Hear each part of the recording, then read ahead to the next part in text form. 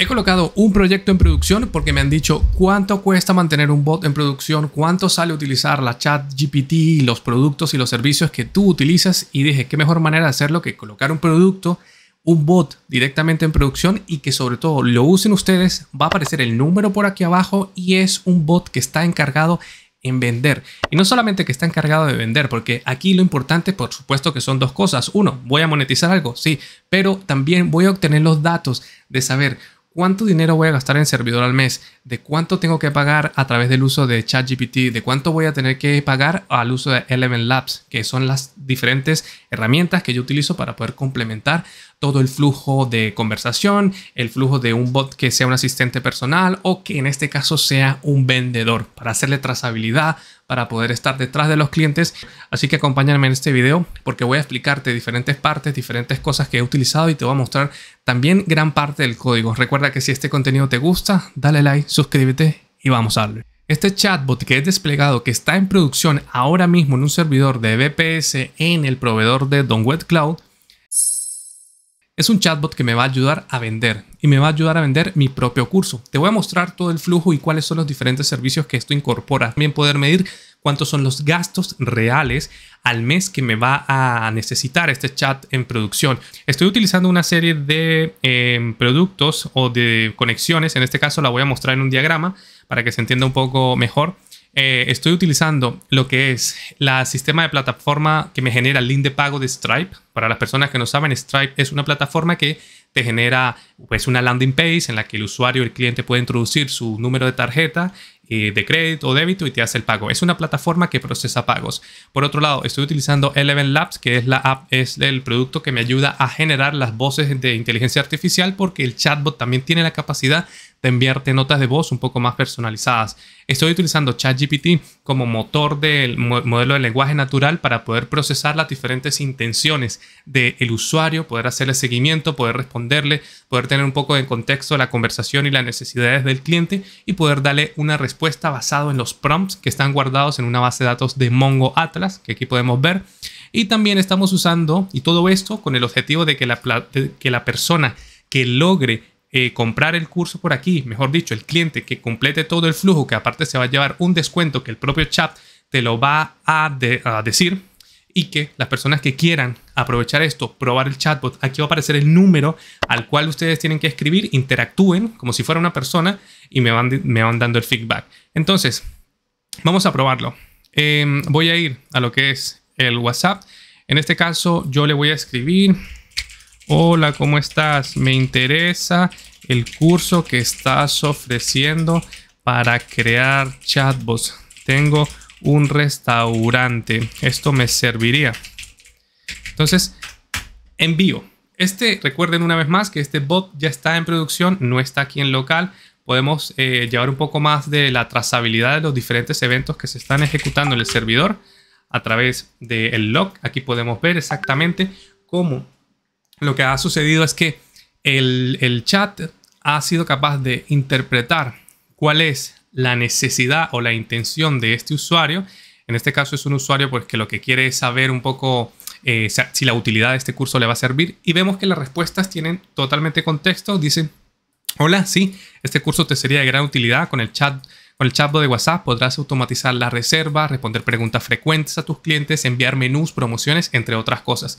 Todo esto es inteligencia artificial. Yo no tengo ningún mensaje escrito ni colocado en ninguna parte. Todo esto te ayudará a mejorar la atención al cliente y aumentar tus ventas. ¿Te gustaría saber algo más? Entonces, en este punto, eh, yo le puedo decir, ¿me puedes decir qué cosas necesito saber para yo tomar este curso? Podemos seguir un contexto de conversación. Eh, internamente, el chat, con la ayuda también de ChatGPT, va a hacer la consulta y va a hacer el análisis de toda la conversación que esta persona está efectuando con el, bot cliente y en este caso mm, le responde, para tomar este curso necesitas tener un mínimo de experiencia de trabajando con lenguajes de programación como JavaScript, ya que todo el desarrollo se basa en este lenguaje. También aprenderás a enviar mensajes a través de API y a conectar con bases de datos como Mongo, MySQL, Firebase. Además te enseñaremos a desplegar tu bot en producción en AWS. ¿Te gustaría escribirte? Entonces en este caso yo le voy a decir, si me gustaría comprar el curso, ¿cómo hago? Obsérvese que estoy escribiendo también una manera pues bastante rápida con muchos errores ortográficos y gramaticales y podemos probar, podemos ver exactamente de que esto no es problema porque realmente estamos interactuando con la inteligencia artificial y aquí observamos que se han ejecutado otros flujos, pero flujos inteligentes. En este caso me dice genial.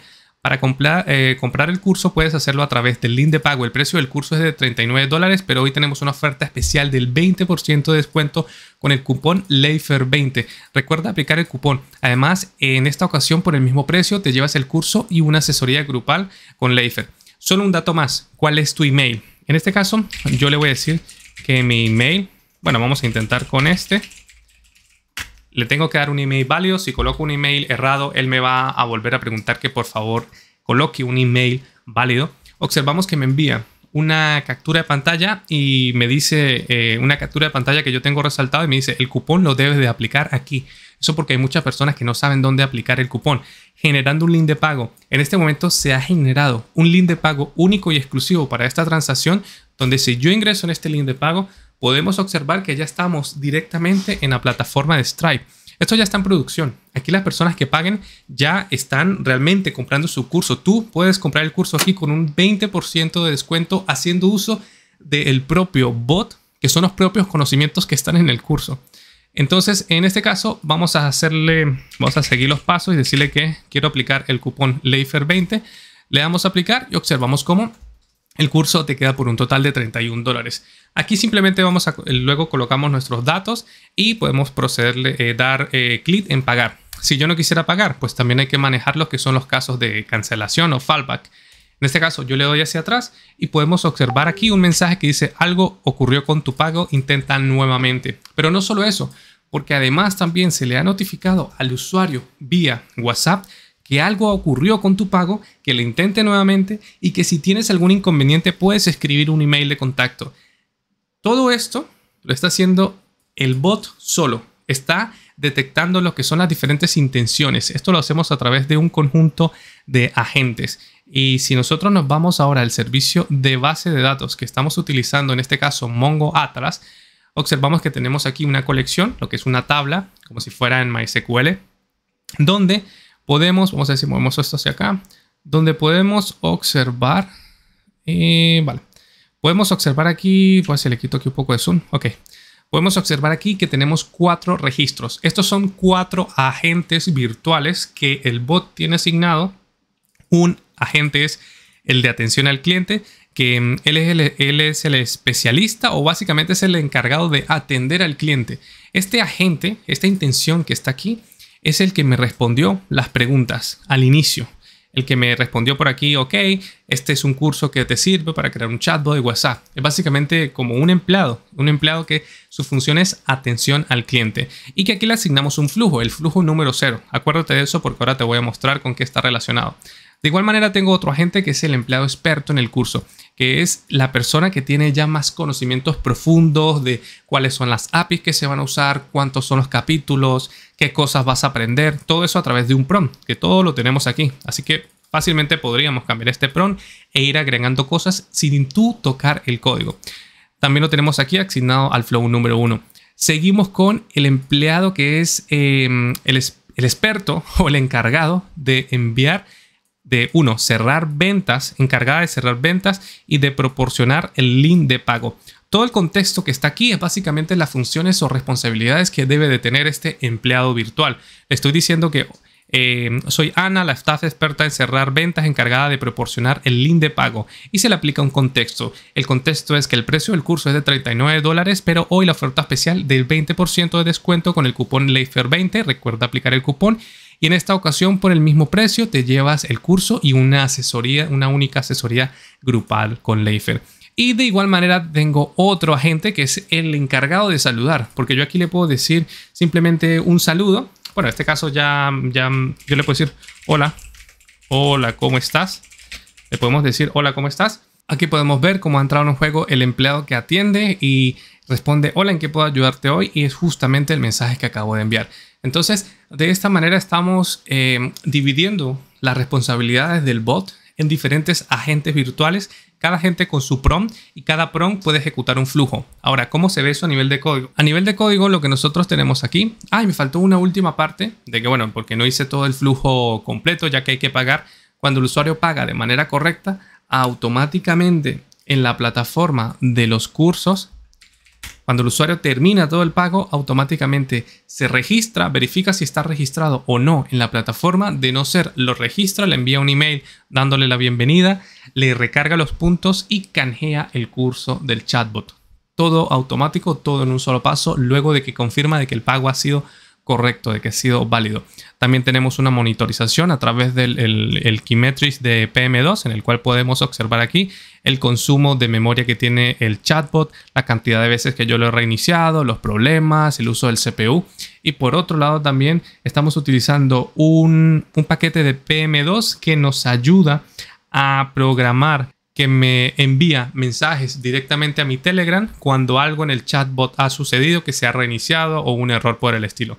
Esto para tener notificaciones y trazabilidades en tiempo real. Bueno, para explicar el código, tengo yo lo que es mi aplicación GS, que es la aplicación principal. Esto ya se hizo, esta tarea.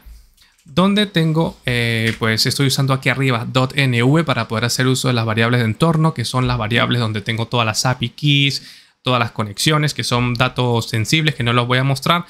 Pero bueno, variables de entorno. Luego estoy haciendo uso del bot, estoy haciendo uso del proveedor de Baileys y aquí tengo una clase que es la del server API. En este caso vamos a entrar a ella, esto es simplemente una clase que ofrece todo lo que es la parte de la infraestructura, todo lo que es la HTTP REST, las peticiones GET, conexiones a los controladores y rutas. ¿Esto es por qué?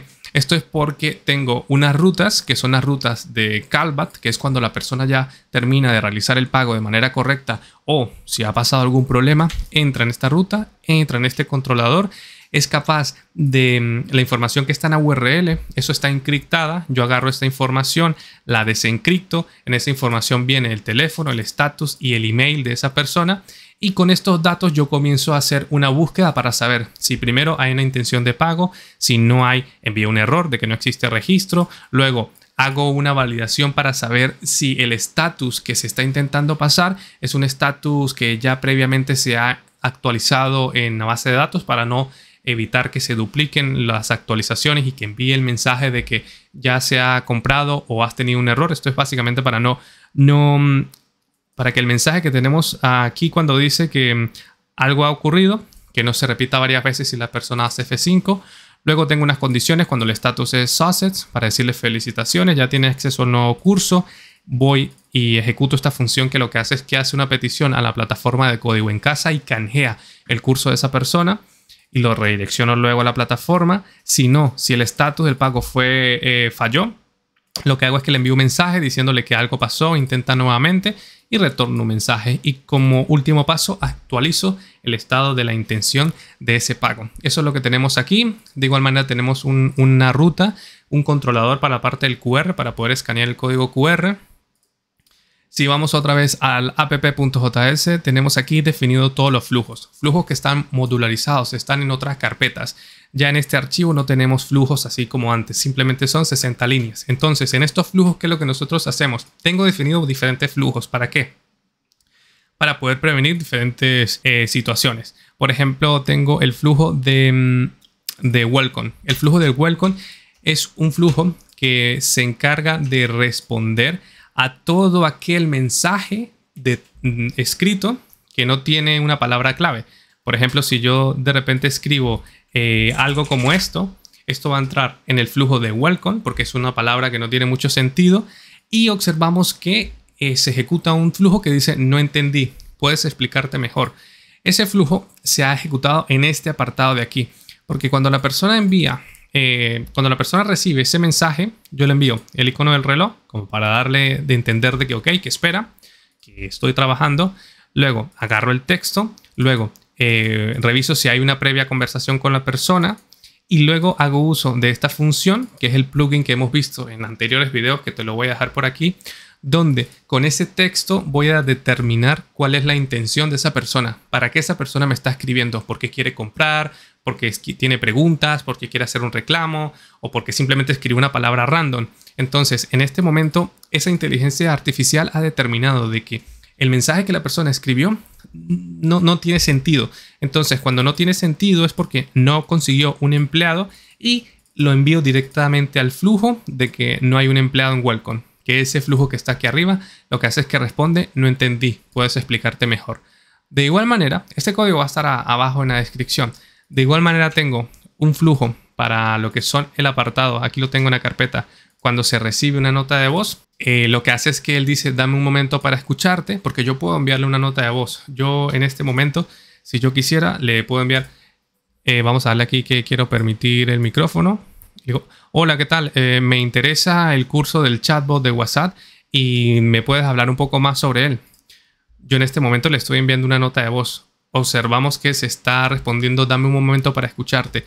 Ese mensaje viene de aquí, dame un momento para escucharte, donde estoy agarrando todo el contexto de, ese mensaje, que en este caso es un mensaje de voz, estoy descargando la nota de voz, la estoy guardando en un archivo temporal, la transformo de OGG a MP3, porque esto luego la tengo que convertir con Whisper que Whisper es un servicio de OpenAI que lo que hace es transcribirme el texto, eh, la voz a un texto y luego con ese texto lo retorno. Una vez que retorno el texto, se lo paso otra vez a, la función que determina cuál es la intención de venta, oye, perdón, cuál es la intención del usuario y responderme a través del empleado que mejor se adapte o el agente virtual que mejor se adapte a la necesidad del usuario.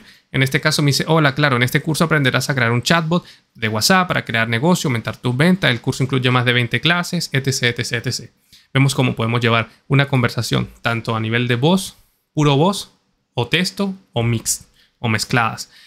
De esta manera podemos ver los diferentes eh, flujos que los voy a dejar en el código abajo en la descripción para que este video no sea tan largo. Luego nosotros podemos observar también aquí que tenemos el apartado de los agentes, que este apartado de los agentes es lo que yo tengo en la base de datos de Mongo, que aquí básicamente agarro toda esta información y con esta información yo la estoy obteniendo desde esa base de datos, la mapeo y se la retorno al flujo. ¿Recuerdan los números 0, 1 que yo tengo aquí? Los números, estos números que tenemos aquí que el flow 0, el flow 1, el flow 2. Eso quiere decir las posiciones en este punto. Este sería el 0. Esto sería el 1. Ya sé que no es la mejor manera, pero es funcional. El 2 y el 3. Eso quiere decir que cada uno de esos eh, agentes o vendedores virtuales está vinculado con cada uno de estos flujos el bot, el agente que es experto en ventas va a ejecutar este flujo. Eh, perdón, el que es el encargado de las ventas, el que es el experto en el curso va a ejecutar este otro, el del link, por ejemplo, el del link, que es el encargado del pago. Si yo me voy al flujo del link, no, bueno, aquí es una palabra clave. Si yo me voy al flujo del link, lo que se va a ejecutar es esto, se va a enviar estos dos eh, cohetes, que fue lo que se mostró hace rato me va a decir solo un dato más, cuál es tu email, valida de que el email sea un email válido. Si el email no es válido, me va a decir, eh, debes introducir un email válido. Y al final me da la información en la imagen que yo envío, que es este, el cupón debe de aplicarse aquí, es esta imagen. Luego, generando el link de pago, va a Stripe y genera un link de pago con la información y el precio y todo lo que, bueno, esto ya es más de Stripe, todas las cosas que requiere guardo esta intención de pago en la base de datos como en espera y luego simplemente espero de que el usuario pague o cancele o, que básicamente se termine de concluir el flujo. Las personas que eh, obtengan el curso a través del bot, que son parte del experimento de saber cómo funciona y poder probar y pulir todo este proyecto, recuerda que van a tener un descuento del 20% y aparte de eso van a tener una asesoría grupal donde vamos a estar pues desmenuzando más casos de uso. Te veo en un próximo video y te veo en la clase. Nos vemos.